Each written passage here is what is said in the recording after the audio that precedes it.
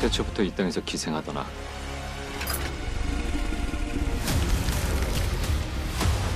어디 하나 있고 어디서 나타날지 모르고